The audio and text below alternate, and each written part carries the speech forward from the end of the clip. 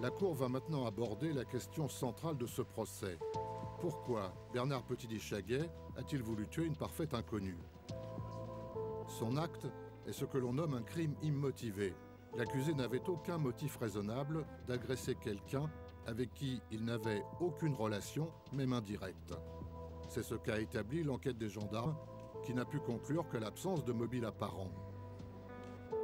Ce n'est pas non plus le geste criminel délirant d'un psychotique. Bernard Petit-Chaguet n'est pas malade mental. De l'accusé, la Cour n'espère plus vraiment une explication des raisons d'un passage à l'acte que lui-même est sans doute incapable d'élaborer et de restituer. Pour Sandrine Lasserre, cette absence de mobile renvoie à l'inconcevable.